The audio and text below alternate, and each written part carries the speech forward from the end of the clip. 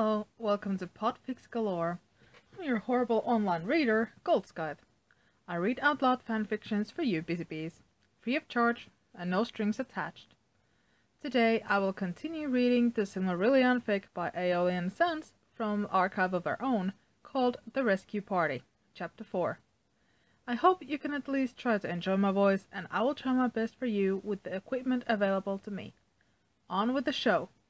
Chapter 4 The Ladies.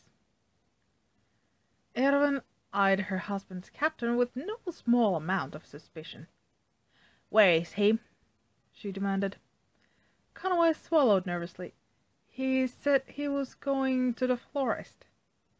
The florist? Eärwen questioned, not bothering to hide her skepticism.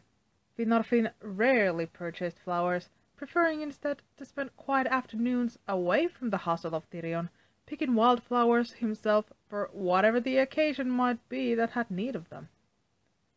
Yes, to get flowers for Ingwion. Eärwen's frown deepened. Something was afoot in Tirion this morning.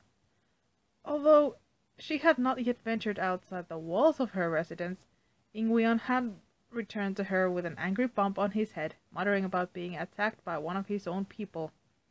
But Eärwen wasn't aware of any visiting Vanyar outside of Ingwion himself and his personal guard. Hmm.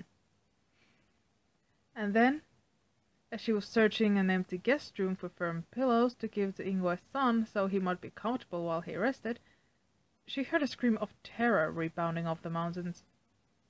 This was immediately followed by the pounding of horse hooves and a clatter of metal dragging on stone. Eärwen had raced to the door to go to see what in hell was going on outside, throwing it open to reveal a shocked Captain Conway.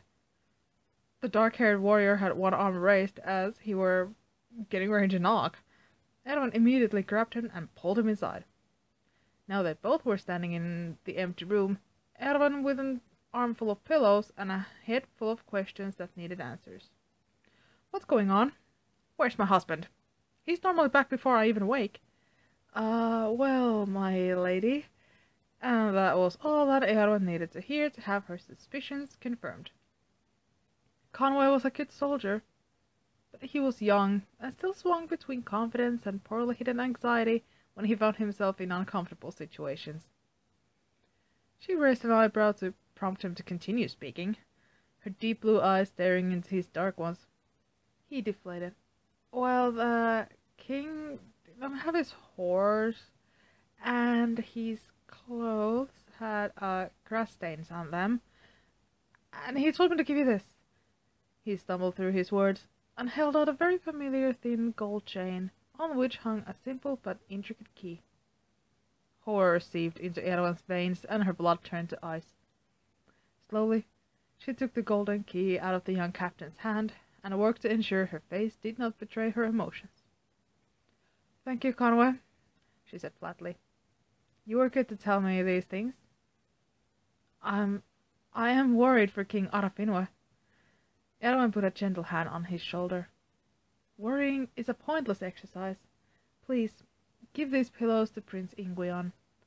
He's a few rooms down. Conway took the pillows and bowed, leaving Eärwen to her thoughts. She stared at the key. Eärwen knew that Finarfin had worn it around his neck ever since the darkening. This is for you, he had said when they lay in each other's arms the night before he went to the judgment on Mahanaxar. Eärwen had been so scared for him then. While her heart had felt raw anger and grief over the death of her kin. Above all other emotions had been an inescapable fear that the Valar would not permit Finarfin to stay, or that the people would not welcome him back. And in the beginning many did not. The names they called her beloved were cutting and unfair. Did not the shattered remains of their people realize that he was not Feanor, that he was not Morgoth, but grief called for a scapegoat and Finarfin was an easy target. If I die, if the people cannot stand the look of my face and stone me in the streets. No, Eärwen had whispered, wrapping her arms around him. Listen, my love, if they do, Or if the Vala find me guilty. Or Moringotta comes again. Take this key and open the jewelry box. You know the one. Suddenly, there was a sound of footsteps pounding down the hallway, jostling this one maiden from her thoughts. Eärwen! Eärwen, where are you? A strong voice called. Nerdanel! Eärwen cried when she stepped out of the door, running to her friend. She grasped Mahtan's daughter in a tight hug. Oh, Nerdanel, I fear my husband has gone and done something terribly stupid. Nerdanel laughed. So you have felt it too. You and I are not gifted in foresight, but I think with our husbands there is an exception. She paused then, likely noticing how shaken Eärwen appeared. My friend, what's wrong? Wordlessly, Eärwen held out the key on its chain. Ara always wore this after the darkening. He said I was to take it if he ever should go to Mandos. But yet just now Conway has given it to me. She took a calming breath, fighting to banish the dark image that had wormed itself into her mind. An image of her beloved bleeding helplessly on the road, a mob cursing him for abandoning his principles to follow a madman. She shook her head, valiantly attempting to banish such an old nightmares from her mind. He cannot be dead, he claimed. Nerdanel laughed and shook her head. Oh no, he's not dead. Not yet. Try Osanwe she said, and there was a strange spark in her grey eyes.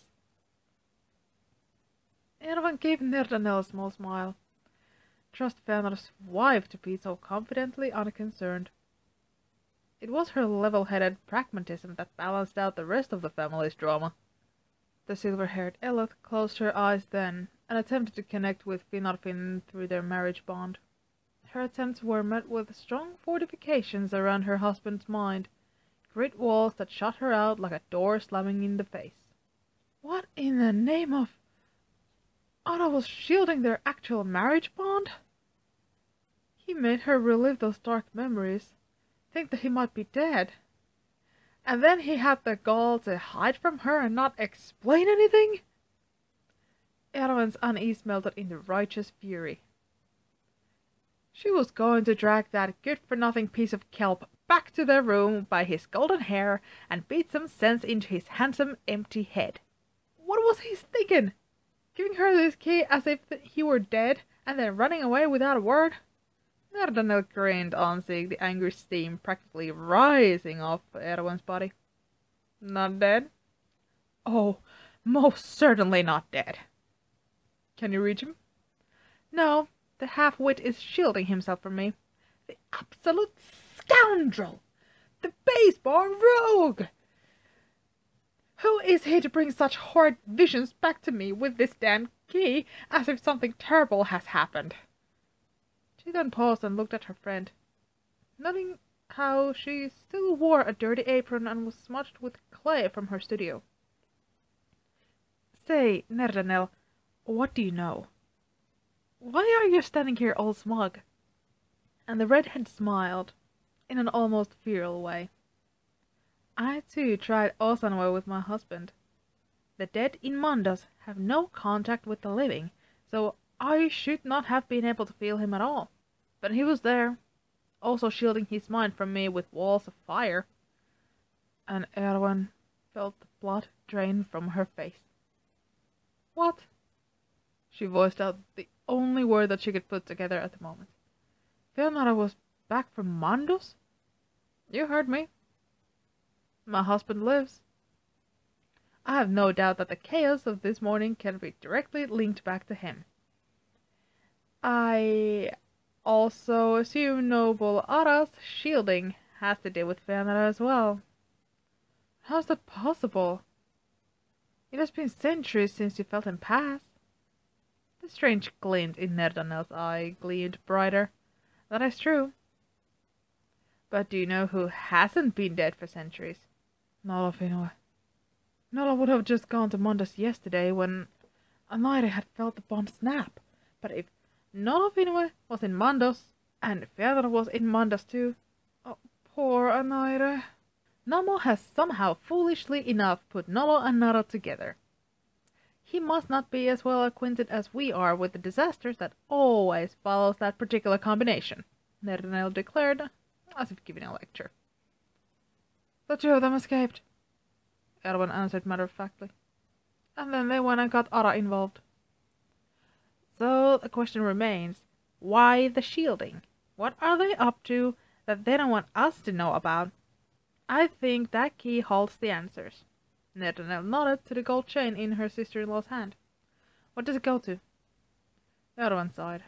A jewelry box. But I don't know what is inside. Nerdanel tossed her wild hair over her shoulders, her shining still. I bet it's a circlet.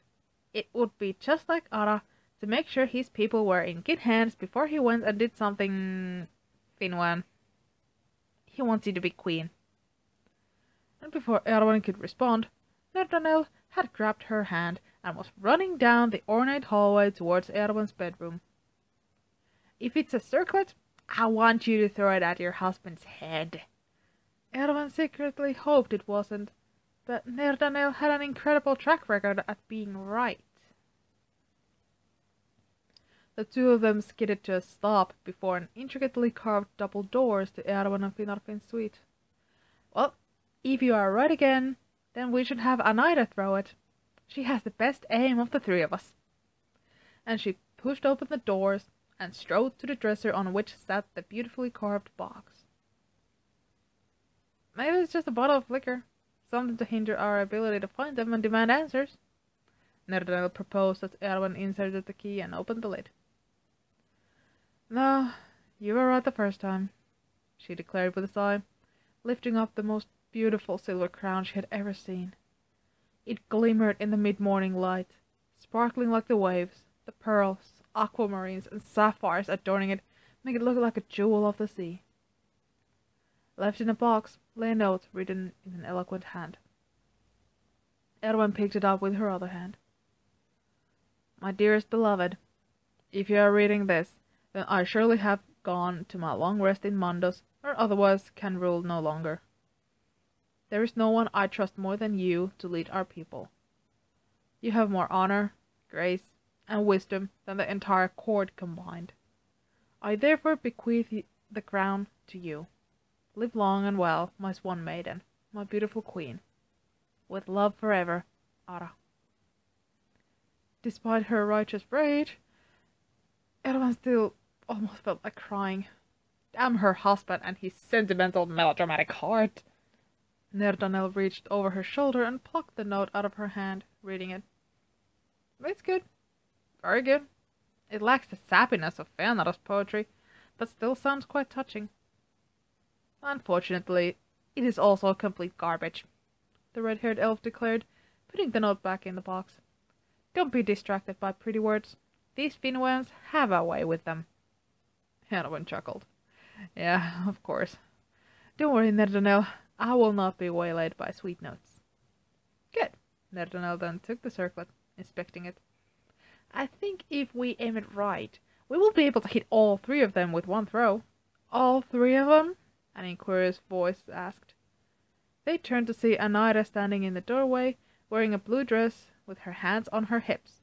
Nada, Nolo, and. Grieve no longer. Your husband was not even in Mandos a day. Nerdanel replied simply. What? Anaire asked, looking at her as if she had grown a second head. Go on, reach out to him. You will find that he's alive and well. Fingolfin had not thought to fortify his mind from his marriage bond. It was difficult to think of such things when one was chasing Feanor across Valinor, trying to keep casualties to a minimum. Nala? A shocked voice echoed in his mind. Orc spit! Damnable hells of iron! He had occasionally felt his wife touch in Beleriand, but the distance had been far too great to allow any actual communication.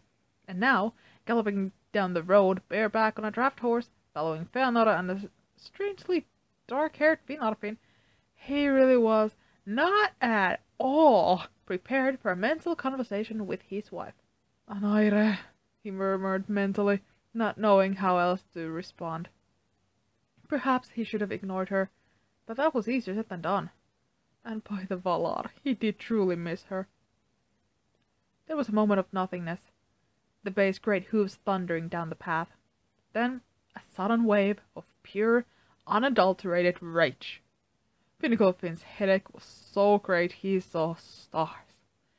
Insufferable moron! How are you alive? Where are you? Fingolfin struggled to stay on the horse. My love, it's okay. I met my brother in Mandos, and we made it back here to Valinor, but I cannot stay. Finnegana and Turkana are still alive. Fingolfin was breathing heavily. Osanwe was not meant for conversations like this. I must help them. And then he summoned what strength he had to encase his mind in strong fortifications. Finarfin, always so aware of everything around him, looked back at him from his seat behind Fëanor. Nala! he called above the rushing wind. Are you okay? Fingolfin urged his horse faster, wishing once more he had not put the harnesses on yet. He owed this gentle creature a lifetime of apples. Anaire knows about me, he called, but Finarfin only nodded. I felt Eärwen's touch as well. I left her the crown. Fingolfin wanted to yell at his brother for raising Eärwen's suspicions like that, but he very well understood that the mad gallop through Tirion wasn't the most clandestine of escapes. Their spouses weren't going to know anyway. Finarfin turned to Fëanor, no doubt yelling something in his ear. Nana says we need to reach the, the forest that borders the beach just outside Alqualondë. Fingolfin shut his eyes and prayed that they had an early enough head start. Anaire stared at her two sisters by marriage, looking at them both in the eye. I need my swords, she proclaimed. Nola shut me out, but not before he revealed that one, he's alive, and two, he's planning to run back to Endórë with Ara and Nara. And he wasn't even going to say goodbye. Nerdanel reached out and grasped her forearm in a warrior salute. A husband hunt? You got my great sword. And Eärwen flung her long hair over her shoulder. And Hera thought our little sparring sessions would be a waste of time. I got my father's trident still. Although, do you think I should stick with the sword? Absolutely, Absolutely not. not. And Anaire replied at the same time. You're like Ossë himself with that thing. You shall not relinquish it for a simple sword, Anaire ordered.